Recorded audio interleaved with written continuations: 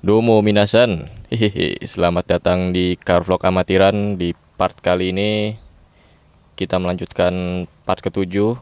Sekarang kita tinggal melakukan finishing aja nih Perapian-perapian. Jadi sekarang mau ngurut kabel RPM dulu.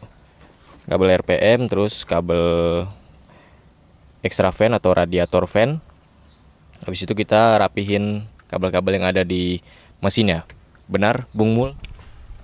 Betul betul. Betul oke si Upin ya? Betul betul betul. Oke, jadi ini tinggal ngerapin aja, Mul. tinggal rapin doang. Kalau mesin per tinggal klep doang. Nggak ada lagi. Cuma bisa belakangan mulai. bisa. Paling sekarang ngerapin kabel ngerapin interior lah. Udah habis itu. Bisa jalan, bisa. Saya juga bisa cuti. Tapi nggak bisa ngerem, Mul. Orang memang gampang sih nak suruh turun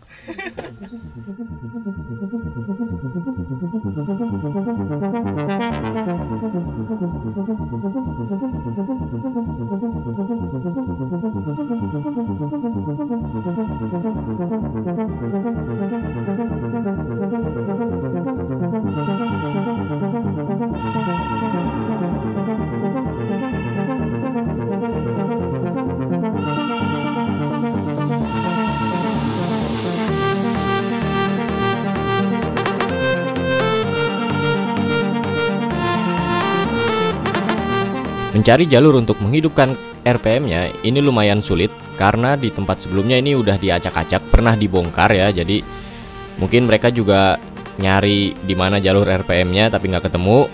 Jadi banyak kabel-kabel yang nggak dibungkus lagi sehingga kita harus ngurutin satu-satu lagi.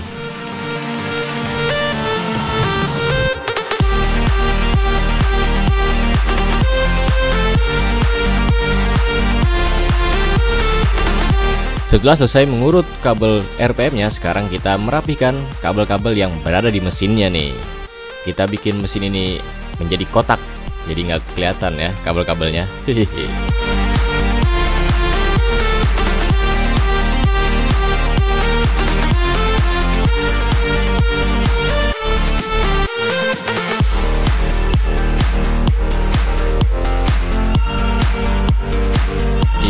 kita sudah selesai melakukan wiring terhadap speedometernya. Ini lihat bisa dilihat ampere bensinnya naik. Apa? Jarum bensin. Tadinya nggak naik. Terus lampu kabin juga hidup. Coba mul, hidupkan lampu kabin. Kok uh, uh hidup mul? Iya, lampu kabin jadi hidup. Mantap. Bensin juga naik. Mudah-mudahan RPM-nya juga hidup nih. Langsung aja kita coba setelah Mul menyalakan rokok. Oke, akan kita tes hidupkan.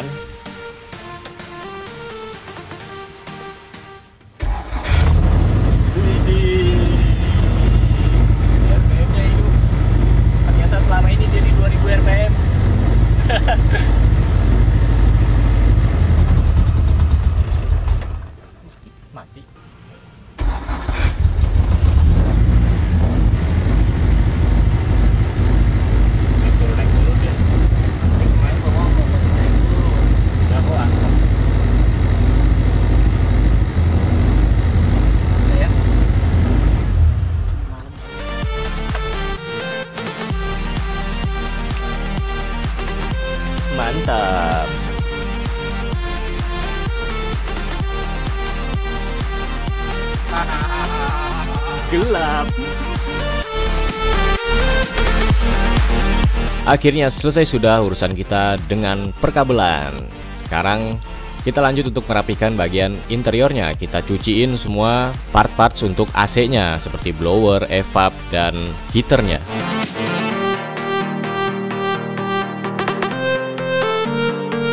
Pada saat kita melakukan pembongkaran terhadap karpetnya, ini dia yang kita temukan. Ini naik nih. Ini naik. Wah, kurang turun, beda sama yang sebelah sono. Terus ini propos juga. Nuh, lihat udah goyang gini. Sekali digedak jebol ke bawah. Ini apalagi? Udah nggak ada harapan kalau ini ya. Tuh. Wuh, mantap.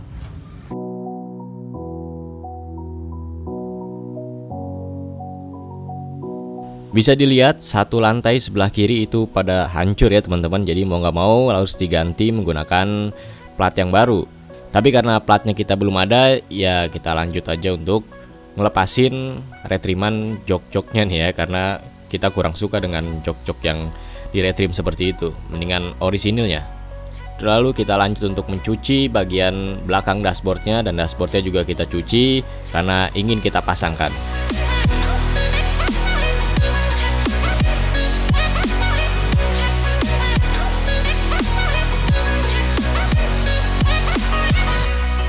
Heater, evap, dan blower AC-nya sudah terpasang. Saatnya kita memasangkan dashboardnya yang sudah dicuci. Karena kalau nggak dicuci gatel. Hehehe.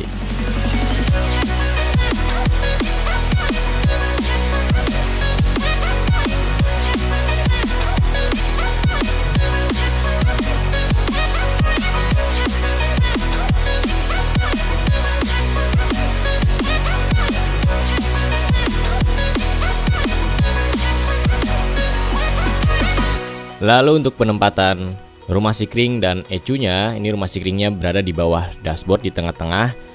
Dan untuk ecunya di tempat semulanya yaitu di pinggir sebelah kiri.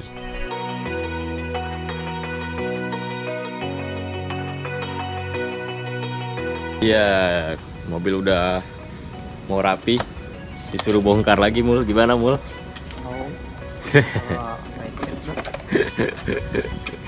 ya untungnya belum dikompon sih. Kemarin udah sempet mau ngompon.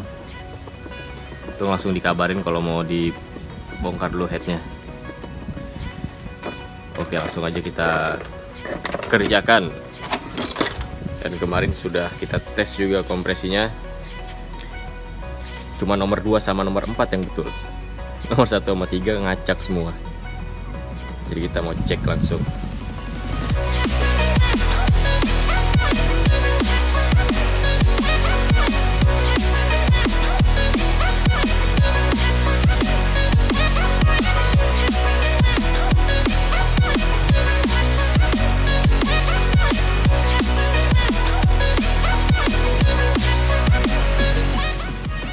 kompresi besar nih.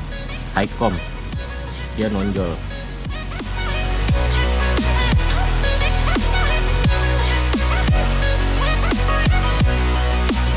Karena ingin kita tinggalkan bloknya jadi kita kasih pelumas di rumah sehernya ya atau di boringnya agar dia nggak karat. Lanjut kita cek headnya apakah ada yang bocor atau enggak bagaimana cara mengeceknya kita tuangkan bahan bakar ke klepnya. Setelah itu kita cek di intake bagian minyaknya dan intake bagian apinya. Ada yang rembes atau enggak? Parah nih ngurangnya.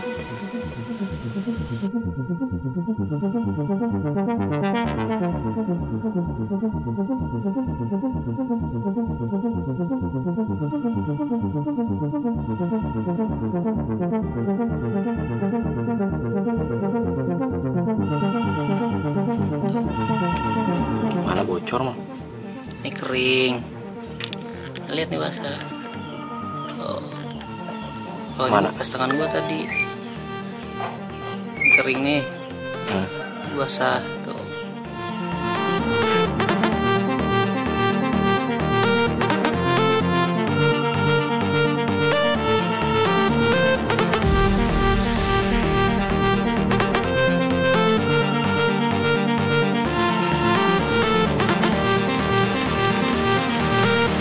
Kita bersihkan dulu klepnya. Setelah itu kita buat tempat untuk menaruh klepnya agar tidak tertukar ya karena klepnya nggak ada nomornya.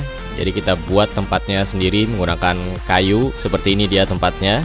Karena setiap nomor itu pasti sekiranya beda ya. Jadi kalau misalkan ketukar ya sama aja bohong, bocor-bocor juga nantinya ya.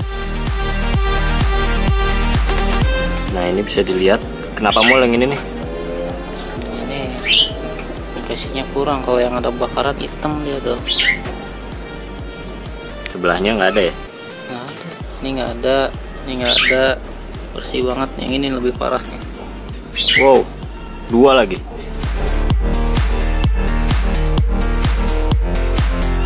Langsung saja di triknya panas matahari kita melakukan penyekiran terhadap klepnya.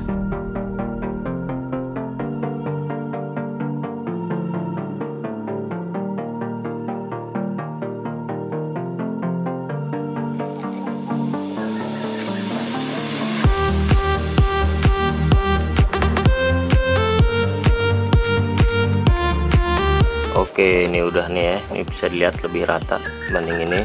Terus yang duluannya juga ini apa namanya mal amrilnya pakai yang kasar ya? Yang kita pakai yang halus.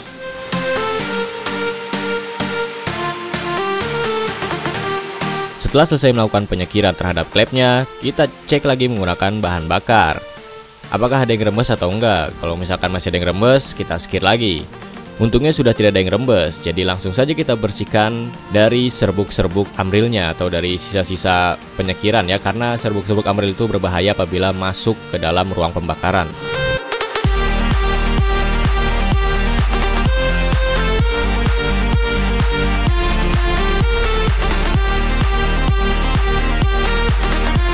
Setelah selesai kita cuci lalu kita keringkan, kita kasih oli agar tidak karat tentunya. Setelah itu kita melakukan pergantian terhadap seal klepnya.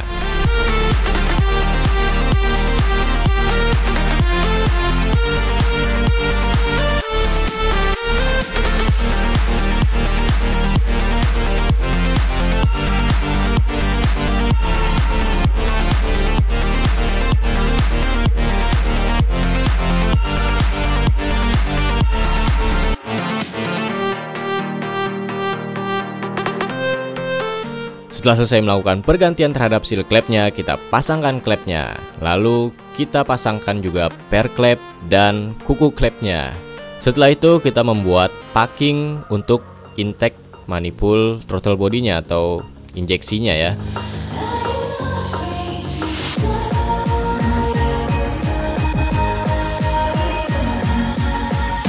Karena semuanya sudah clear, langsung saja kita melakukan pengomponan terhadap cover cylinder headnya Karena udah nggak dibongkar-bongkar lagi nih ya Hehehe.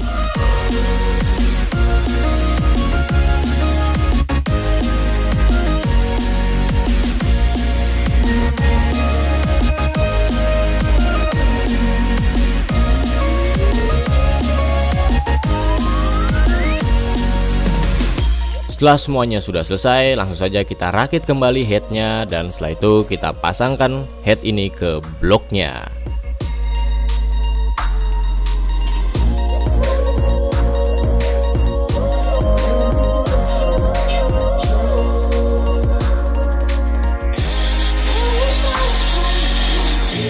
Sebelum memasangkan head ke bloknya, kita semprot dulu menggunakan kompresor agar tidak ada air ya.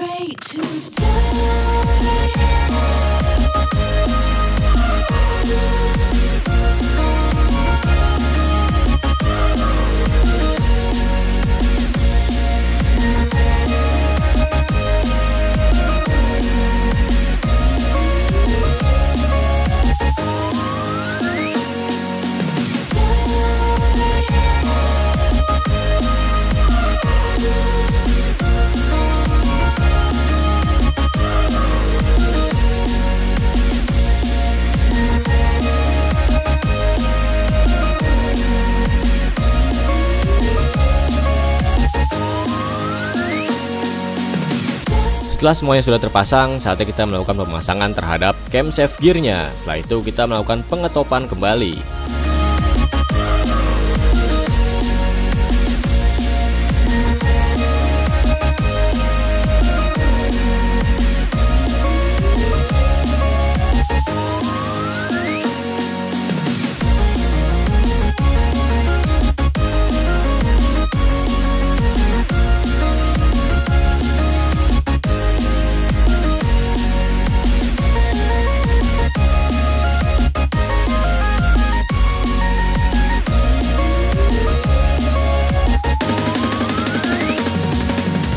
Ya, teman-teman, udah kita skir, udah kita balikin lagi ke semula.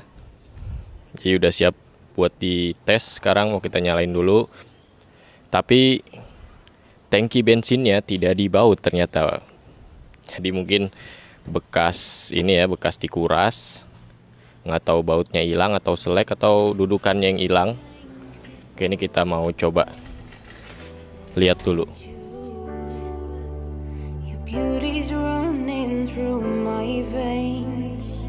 It's hard to sangat disayangkan ternyata dudukannya yang hilang. Jadi mau nggak mau kalau misalkan ada yang jual sih kita lagi nyari apakah ada yang jual atau enggak kalau nggak ada ya harus dibuat pakai behel. Tapi behelnya kita belum ada. Jadi untuk sementara ya kita ikat aja lagi pakai kawat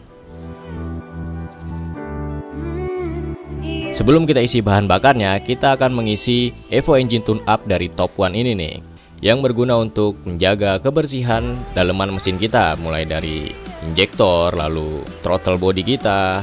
Kalau karbu ya karbunya tetap bersih memprotek ECU kita juga dan memberikan boost power serta memberikan akselerasi yang lebih juga. Lalu emisi yang dikeluarkan dari knalpot kita menjadi lebih baik dibandingkan sebelumnya. Jadi apabila teman-teman menyayangi kendaraan teman-teman sangat patut untuk dicoba untuk menggunakan Top One Evo Engine Tune Up ini.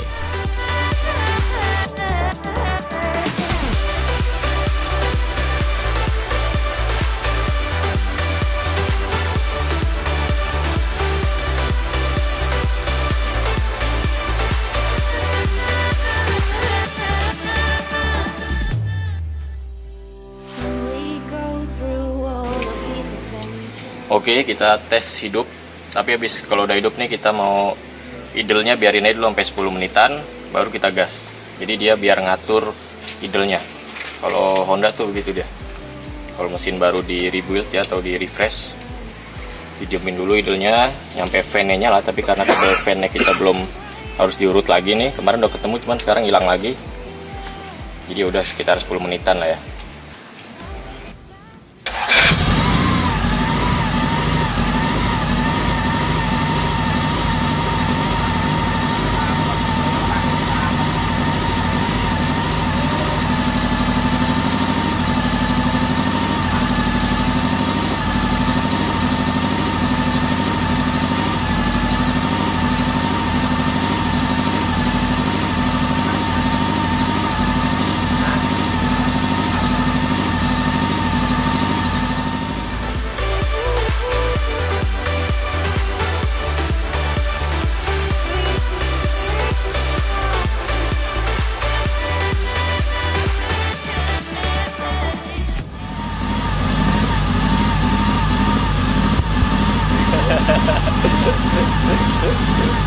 Oke, ini mesin sih udah rata ya, cuman ini masih ada rusak di sensor kayaknya. Eh, kalau nggak TPS ya map sensornya atau dari EACV-nya. You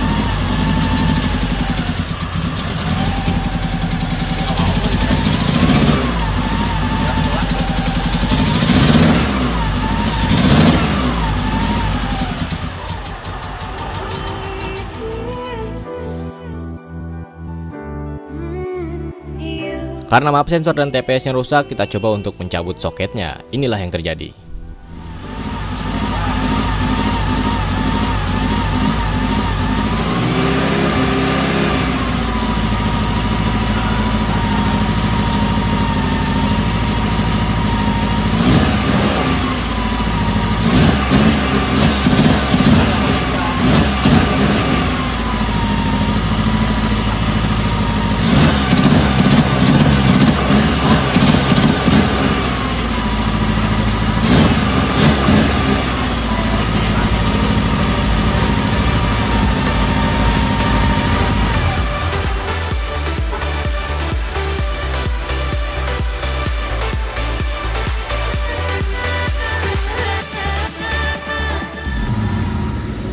Ya teman-teman bisa didengar sekarang idle-nya rata nih ya.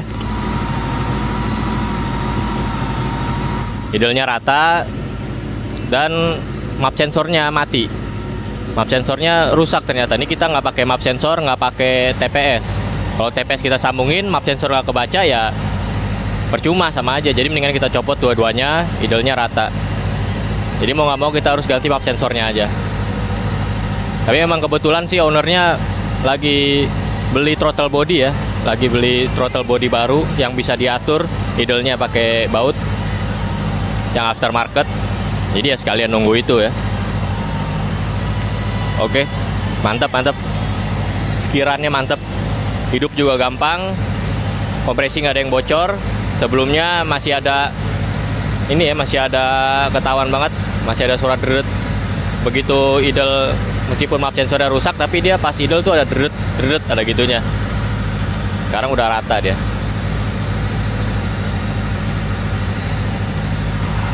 Gimana mul? Gimana? Gimana gimana? Yeah.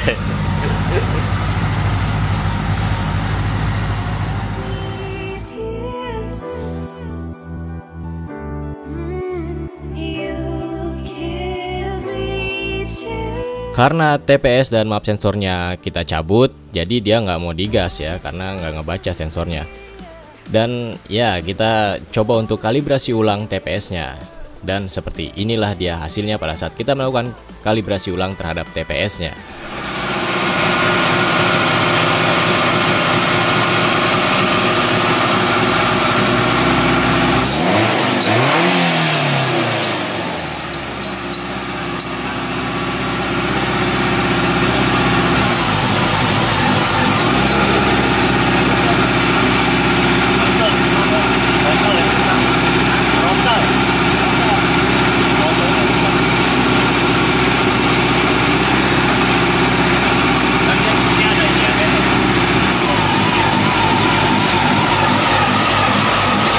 Ini enak sih idulnya.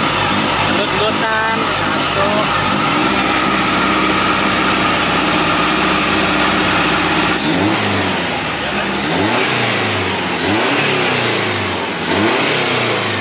Saya memang hebat. Yang temuin jalurnya kan gua. Iya nih, Mul. Kalau kita ngebukin dia, Mul. Kalian kalau nggak ada saya nggak, ya kalian cuma biasa aja. gitu. Keberhasilan yang sangat-sangat luar biasa. Sebelum klepnya kita skir, TPS-nya kita lakukan kalibrasi ulang pun tidak mau nyaut ya, tetap pincang mesinnya. Tapi sekarang bisa teman-teman dengar. Hihihi.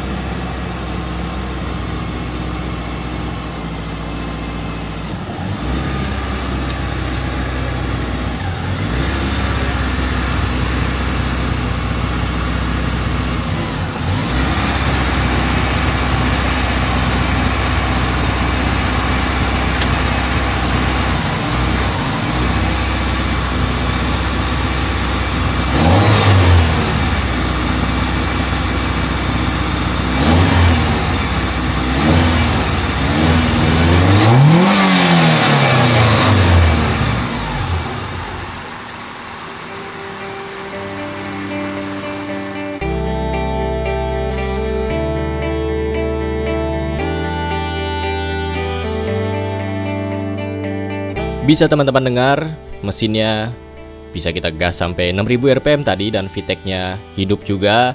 Jadi sekarang saatnya kita melanjutkan melakukan perapihan terhadap mobil ini. Dan kita melakukan pergantian juga terhadap businya karena businya kemarin udah sering banget kena sabun terus kena bensin ya. Kita menggunakan busi Duration Ultra Iridium.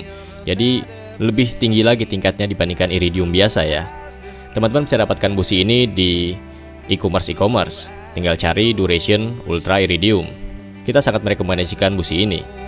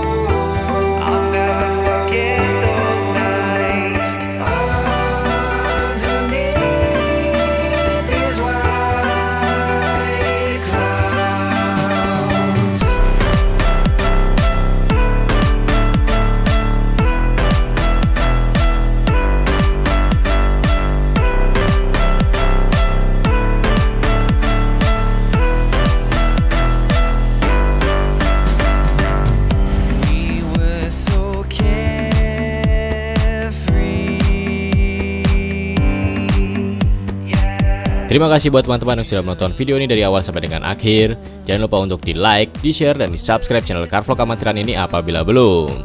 Sampai jumpa di part selanjutnya. Hehehe. Salam amatiran.